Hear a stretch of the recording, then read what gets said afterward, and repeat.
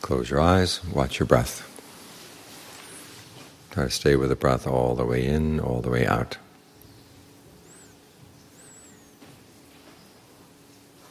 The rains retreat ended this morning at dawn. There's an old tradition, it goes back at least at the time of King Ashoka, that the Buddha spent one of his rains retreats up in heaven, teaching his mother. And then at the end, end of the rains retreat he came down. They say that the Devas created a staircase from heaven on down to earth. Indra came on one side with a parasol. Some other Deva, I can't remember the name, stayed on the other side with a whisk, accompanied the Buddha down. And the people who hadn't seen the Buddha for three months had gotten news he was going to come down in Sankasa. It's a town in India to the east of Agra. And so they all came. because there were so many of them, they couldn't get close to him. And so when he came down and started receiving alms, some of them took their rice and they tied it up in leaves, and they put a little long tail at the leaf and they threw it into his bowl.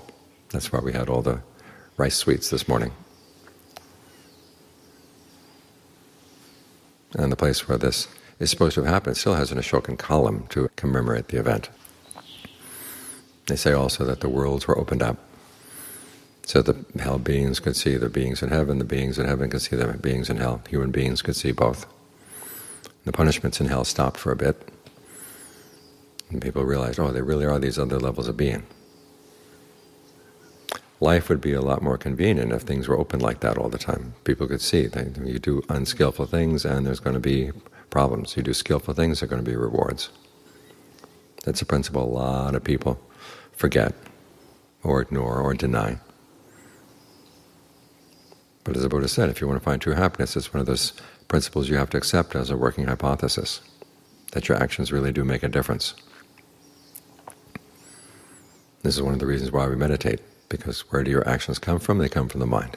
If the mind is untrained, this engine for your life is being controlled by somebody crazy. It's not under control. You're greed takes over, your delusion takes over, your anger takes over. It's like crazy people taking over your machine. And who knows where they're going to, what they're going to do with it, what kind of life they're going to create. There's no, nothing really certain about them at all. Sometimes they like one thing, and then they turn around and like, they like something else. And the life that gets created as a result it switches back and forth very quickly. So if you want a life that's solid and dependable, you've got to train your mind to be solid and dependable. So try to be dependable in staying with the breath right now. Make up your mind you're going to do something good and stick with it. In this case, you're going to develop concentration or develop your mindfulness.